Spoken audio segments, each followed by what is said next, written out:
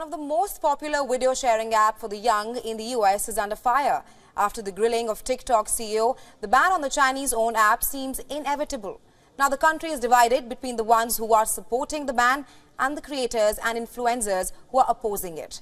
Amid several opposition from both Democrat and Republican lawmakers, TikTok has managed to win the support of New York Democrat representative.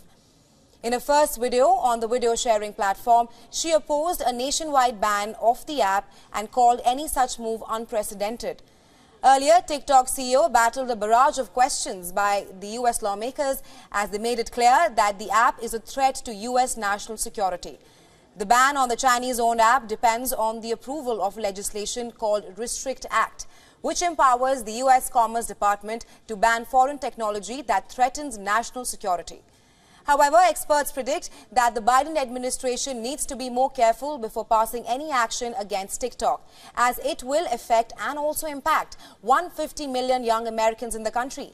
An earlier similar report by former President Donald Trump was struck down by a U.S. court. However, the White House has tabled a solution where it demands TikTok to sever their ties with the parent company ByteDance either through a sale or a spin-off. But experts have raised questions on this move with many saying that TikTok cannot function without ByteDance as it develops the app's technology. But a ban on TikTok is not bad for everyone, as market experts say that any action on TikTok will benefit Meta and Snapchat at Wall Street.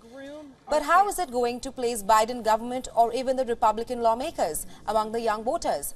Well, according to Republican representatives, many youngsters are thinking that the panel is old and out of touch but after a few years down the line, they will start caring about the lost data.